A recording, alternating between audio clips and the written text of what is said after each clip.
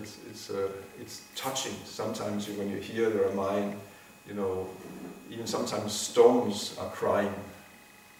Sometimes even when I hear some parts of it, then it's I, I don't cry. I cannot cry, and I will not cry, and I refuse to cry. Sometimes it's almost uh, you know I'm then I control myself, but it's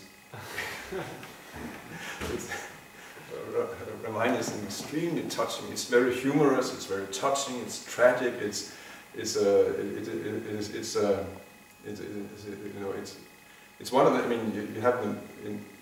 You, you can actually say in one sense, to, you know, people should be advised: do not read Ramayana because it's. Uh, you know, it, it, it is a, it's such a book that once you've read Ramayana, other books are just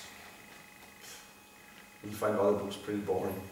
Of course, then you have the Mahabharata, and that can also, but it's uh, ordinary literature seemed pale compared to actually what, what you have in, in the Ramayana when you really get a taste of it.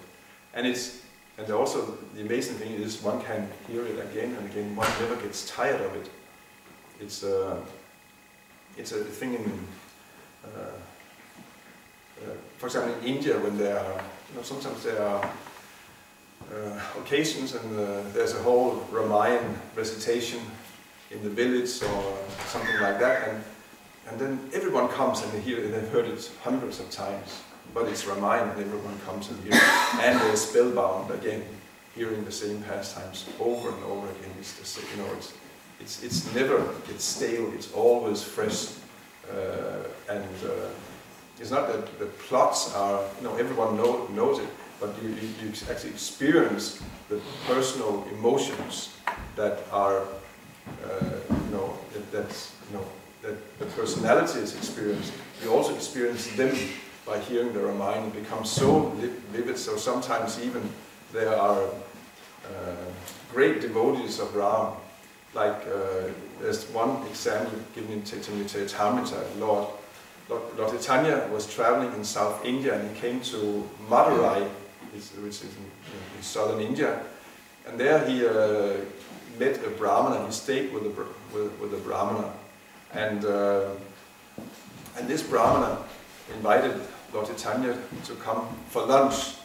Lord Chaitanya came at noon, but there was no lunch. And then uh, Lord Chaitanya said, well, there's no lunch. And the Brahmana said, no, because we're living in the forest and we just, we're still waiting for Lakshmana to come back. He hasn't uh, brought back you know, all the vegetables. Lakshmana was always a servant, and he was always out, you know, finding naturally vegetables growing everywhere, naturally in the forest. He hasn't come back yet. I said, okay, he thought that was interesting. then, then finally, you know, after a while, then, then uh, the Brahma, he uh, rushed and he, he made some arrangement, and then he was serving lunch for Lord Chaitanya. And then uh, he was serving, but Lord Chaitanya saw that, but he was not eating said, and why don't you eat? And this Brahmin said, no, how can I eat? You know, uh, I just I just heard a terrible news that uh, Mother Sita, you know, the goddess of fortune and Ram's chaste wife, has been kidnapped by uh, the horrible even Ravana. And uh, you know, just hearing this breaks my heart. I cannot, I cannot, you know, I have no reason to live. I cannot eat anything. And uh, and so, the, so this Brahmin is so much into the Ramayana that you know he, he's completely living and experiencing it. And of course, then Lord Chaitanya, he, uh, he uh, tells him, but you know, if you learn in Brahman, you should actually understand that uh, Mother Sita is completely spiritual. She is the goddess of fortune.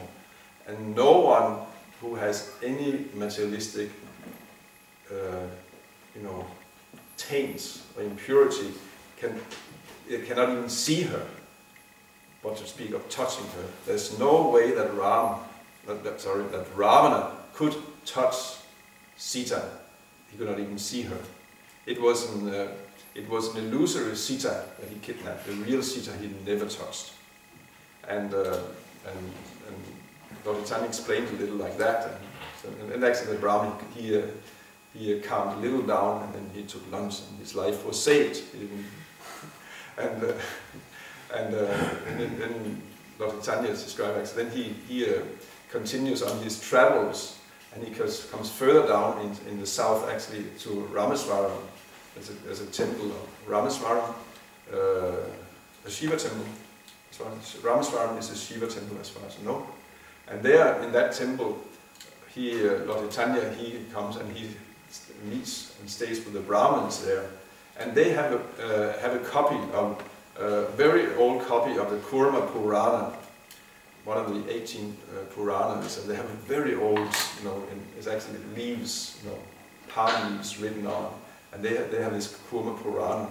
And when he's there, then it just happens to read uh, uh, the passage where the Kurma Purana tells about uh, the chaste Sita, how she was never touched by uh, Ravana, but she was, it was just an illusory Sita that uh, Ravana he got. So he hears that, and Lord Chaitanya, he uh, there he gets, uh, he speaks with the Brahmanas, he tells, you know, there's this Brahman Madurai, uh, can I have this book? I want, I want this book with me to show proof. And they say, okay, you can have it. Then they, of course, they copy it, uh, so they make a new copy, and then he gets the old copy, so actually he can prove, you know, it's actually there in the scriptures, and then he brings, you know, this book back to Madurai. And then the Brahmana he's very, very happy when he reads that, and then he, you know, he, he cooks a big lunch for Lord Chaitanya, and he apologized for the treatment that I gave you last. I was in illusion like that, and, and anyway, so uh, that's Ramayana. Ramayana is, you know, is, is, uh, is, is, you know, one gets, can get really drawn into it. This is why it is so, you know, and, and, and it's connected because uh, this strong adherence to religious principles in all cases uh, allows, it, one must say it's restrictive, you know, that you have to, one follows these principles. Of course, these people, they, it's just natural. They don't have any other nature or any other inclination. But uh, one, but still you might think it's, it, it's restrictive. No, it's not restrictive. This allows for experiencing the highest personal exchanges and emotions possible. This is actually uh, we, we, we do not understand that in our culture. We think freedom, and then we'll experience, uh, you know, we, we, can, we, just do what we like to, and without any principles and restrictions, and what we feel like, and then we'll experience all kinds of personal, you know, exchanges, and so life, our life will be so rich. Uh, but uh, it's actually it's un completely untrue. It's, uh, it's actually restrictions that allow us to develop relations to each other experience deep exchanges. It's just like, uh, I mean, just a, a, very ordinary example. You have husband and wife. So, uh, you know, in one, one scenario, uh, a husband and wife, actually they are, they're, you know, they're very faithful to each other they are always, you know, they uh, they would, I mean, they don't even think of having relationship to other men, women, and they always, uh, you know, when, when even they sacrifice for each other, uh, sometimes, okay, you know, I, yeah, I would like to, but actually, you know, it doesn't suit the you, so I will not, I will not do it, uh, and so on. They very actually restrict themselves in relationship to each other. Or you have another husband and wife who are so-called free, and uh, know, he is out in the weekends and he is uh, out with other women, and she is also, and uh, and uh, there's you know. They, they don't really feel any particular obligation to each other, and they're not bound by any principles. Who has the deepest relationship of these of these two?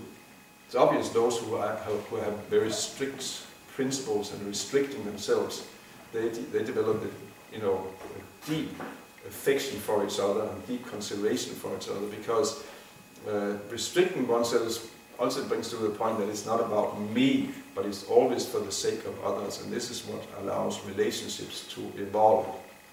But if it's just about, you know, the so-called freedom that actually means what I want, the whole thing becomes very, you know, of course, selfish, very superficial, very shallow. Uh, you actually become lonely. You actually, you know, lonely, or this so-called freedom without principles is actually the formula to become completely lonely, isolated people. And this is what we see in our so-called free world. Uh, we see in the, in the, in the Ramayana where the religious principles are, you know, uh, being observed with a vengeance, you know, like nowhere else. But also the relationships that the people they have, uh, that's, you know, they experience personal emotions and exchanges on a level, I mean, often the modern man, when he reads this, he doesn't believe it's possible that there can be such relationships. But it can. If, if one has, one follows these principles, that's a whole message of the Ramayana. Uh, so, uh, so that, that's the moods in the you know, in, in, in Ramayana, the, uh, the strict adherence to uh, all the principles of, of Dharma, of religion, as a giving in the Vedas, it actually means Varnashram, Dharma, strictly upheld and all the principles of truthfulness and honesty and, and so on and so on. And uh, it's just, it, it, and yeah, it's, it's, just an amazing, uh, amazing lila. Lila means uh, divine play, pastime. It's a, it's like the supreme Lord. He comes and there's a whole uh, play like a like a theater. In one a theater play, but it's real. But still, it's like a, a, an enormous uh, play that has been acted on, in, in, you know, in front of everyone who was on the planet at that time. Uh, and uh, uh, that's, that's, that's what a, a lila is. It's, it's a, a, a, divine game, divine play. Uh, and so, so the Ram Lila is a Lila of, it's a, it's a Lila of uh, upholding all the principles of Dharma strictly uh, and yeah. Um,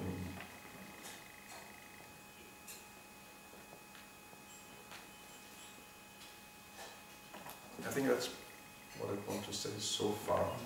Sorry, it wasn't really abruptly like that, but I think that's someone wants to add something, or questions. Or yeah.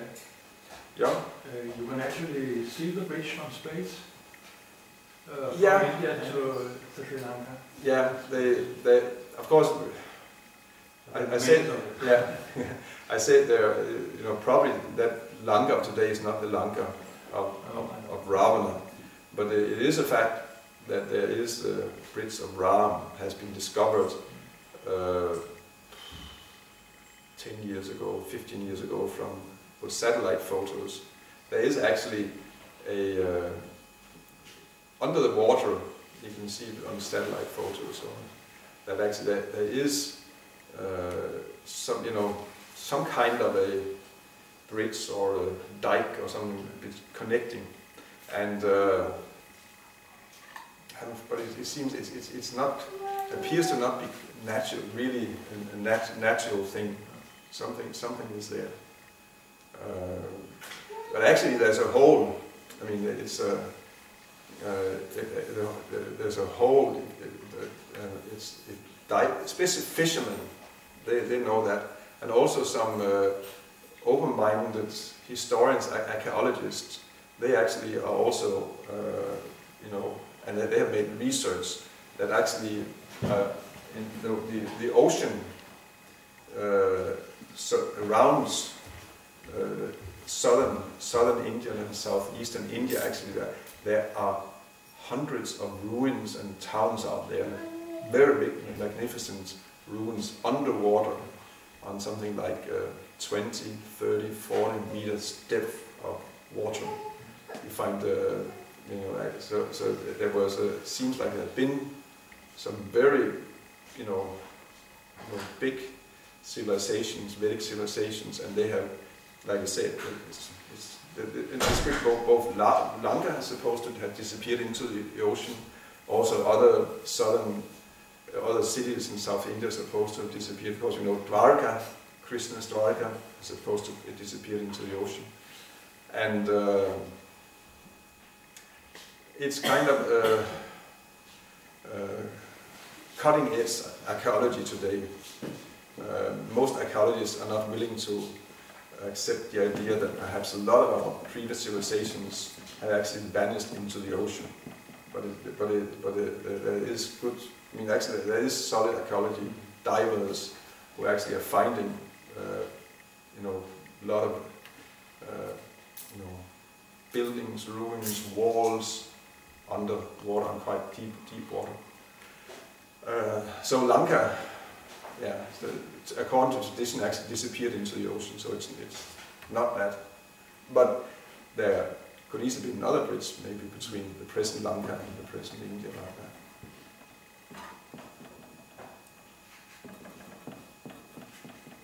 Ah, kan du read?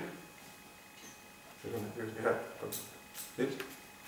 So the separation between Rama and Sita, Yeah. is there, is, is there any interpretation in ISKCON? Or is it just, okay, it was, it was just according to rules and regulations? Or, because, I mean, it's a, it's, it's a very almost evil story, uh, like Yeah. I had to go through fire, and maybe, I know also there are different endings on the Ramayana around India. So maybe Prabhupada at some said something about separation of Sita and Ram. Yeah, he- does. He does. I mean, it's uh, of course there are different versions of the Ramayana, but as far as I know, he he says Valmiki Ramayana. Uh, and I'm not an expert on Ramayana as such, but I, as far as there's one Valmiki, and there's also Tulsidas, and uh, there's other Ramayana. But uh, yes, he says actually it's uh, this separation between Sita and Ram. Uh, well, at one level, it's you know a tragedy and also it, it, it is understood in terms of morality and religious principles and like that. But that's only uh, on the external level. What really goes on is uh, the, uh, the, the, ecstasy of separation between Sita and Ram. And we know this, uh, is, of course, is standard. We know it's uh, when Krishna left Vrindavan, he seemingly separated himself from all the inhabitants of Vrindavan, and, but they were put into an even greater ecstasy than when he was present, because uh, the feeling of separation is a much more intense experience of the presence of God than when he's there. So actually, he, when he left, he became more present, and uh, the, what they experienced was an even greater level of ecstasy than when he was there. So uh, and that's one sense a little bit inconceivable, but it's a, it's a, yeah. So the same thing is there between uh, Ram and Sita. Prabhupada uh, precisely discusses that point in one of his purports. In the in ninth canto of Srimad Bhagavatam, there is three chapters on Ram. It's short. Shukadev Goswami says to Maharaj Pariksit, I have already, you have already heard Ramayana so many times. So uh, uh, I'm just going to go give it real quite quickly. So it's just it's just uh, covers three chapters, and one purport there is, uh, talks about that the um, separation there is not should not be understood in a mundane way. It's actually uh, is, is ecstasy between Ram and Sita. Yeah. Good point. Uh, Yeah, it was just that you said that uh, Sita, she disappeared into the earth yeah. because she like had gotten enough of the whole thing. Isn't it? Hmm? Like, she was fed up at that time. And, uh, I mean, she was faultless from the beginning to the end. Yeah. And, uh, so, I mean, uh, Faultless. faultless, yes, from the beginning to the end. And is it also not to show that uh, in history, like, I mean, she was the most chaste lady that ever existed, Mm. and at the same time, she was blamed from the whole society to. Not by the whole society, just by a, actually one barber was being, not the whole society. but the whole society, they, they, they, uh, there was this trial that she had to go through the fire to prove Yeah. purity Yeah, and yeah. But that, that was uh, Ram who said that actually, he, because he, he knew he wanted to uphold the strictest principle. Um, so he, he, he was the one who actually, Lakshmana and Hanuman and the others um, did not ask for it. He did. Um, but this about, again, faultless, I mean, but they're all faultless. Ram is faultless, Sita is faultless, Lakshman is faultless, Bharata is faultless, Dasarat is faultless. So even Kaikeyi is faultless. But she's somehow get covered over for to, to facilitate this whole lila. Um, so faultless people, pure devotees, doesn't mean then then their life just becomes uh, you know smooth and peaceful and no problems or anything like that at all. Doesn't mean that like at all. The Pandavas were completely faultless, and they had to go through more suffering than anyone else. It's not karma. You, you, you think that they have uh, they have you know materialistic souls have karma, and therefore they deserve to suffer. And they should suffer because you know they, they are sinful, and therefore they should suffer. Uh, but pure souls, faultless souls, they, they're, not, they're, they're not sinful, they have no bad karma, so therefore they do not deserve to suffer. Uh, so that's a very materialistic way of looking at, at, at it. Um, yes, the Pandavas had to go through all these tribulations and suffering because, uh, first of all, how would they have uh, demonstrated their extreme devotion to Krishna if they were no, if they not had not been tested? It's testing uh, the devotion of the devotees, and if there's no trials and no tribulations, how can it be demonstrated actually how glorious the devotion actually is? And uh, and and and the, the, the experience of you know on the personal level that everyone has in these great tribulations is uh, you know you, you cannot get them when everything is just nice and peaceful and sunny and uh, everyone around you are always nice to you and you're always healthy and, and like that. It, Queen Kunti prays after the battle of Kurukshetra uh, when things were peaceful and again they were reinstated as rulers and, and, and, and, and, and, and like that. She said, uh, she prays that all these miseries come again. Now it's, it's over, but that's the problem. And how can we remember you, Krishna? Because when we are in miseries and tribulations and we're desperate, then we can cry out Krishna with a you know, sincere heart. But when we are bewildered by uh, you know, nice situation, opulence, and we are learned and we are beautiful, uh, we, can, you know, we, we cannot pray to God with really you know, sincere, desperate, you know, crying out to God.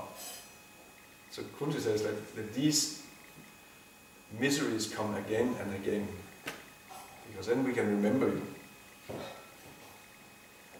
So it- it's uh, it should not be seen like in a, you know Sita's tribulations.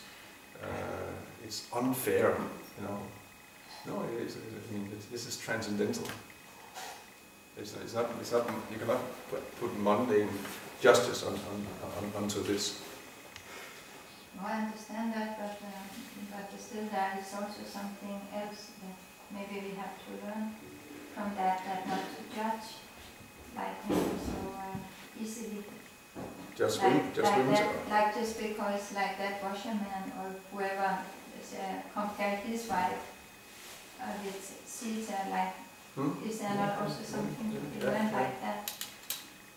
Possibly. I mean, if wives were being judged like that, there would be a lot of wives on the streets. Maybe there wouldn't be anything but wives on the streets. they should be so beyond suspicion. Uh, it's, it's kind of mystical, uh, you know, and it's inconceivable.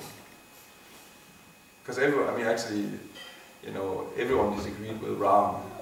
It's Ram who said he wanted like that. Actually, everyone else around him disagreed with him, including Vasishta, his guru, actually said, no, that's, that's not necessary. And, and Lakshmana and, and, and you know, and it, it, it is a,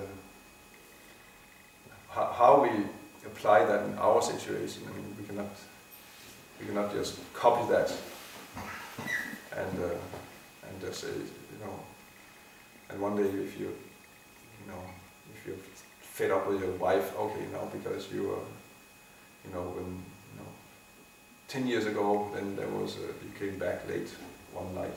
So now, we have to, that we cannot do. That's not, uh, you know, it's, it's uh, I would even try to, to, to understand how it applies in our situation because it's, uh, that's, that's not really the point here.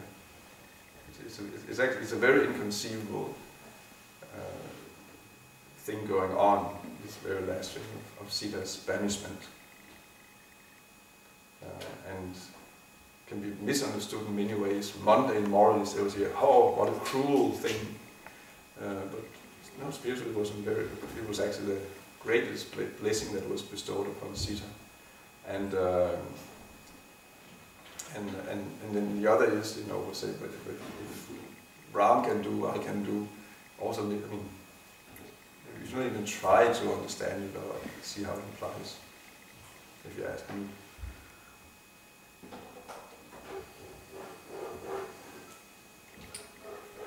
If, if, uh, if you allow me to make a point, in Tulsi Ramayan, it's described that when uh, Ravana was about to kidnap Mother Sita, Yeah. uh, Lord Ram asks her to take shelter with Agnidev.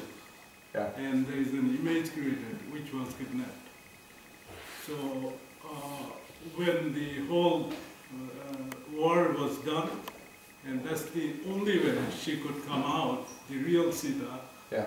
if the image went into Agni, which is the fire, Yeah. and the fire god then uh, bestows the real Sita. Yeah.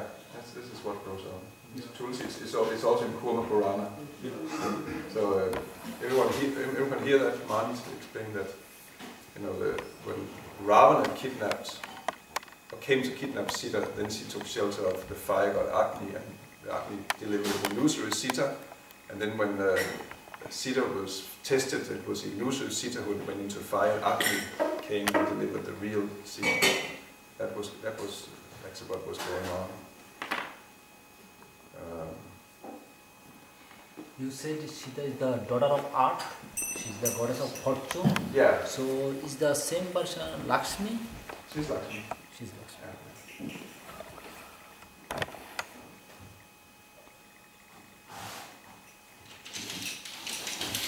Jai. CC born inside Ki, who are Ram and Lakshmana. Hare Krishna. Thank you very much to Alitana Prabhu. Thank you very much to everyone. So those of you who have not offered a light yet, please do this during Gori- Goratik. For the next half hour, we will have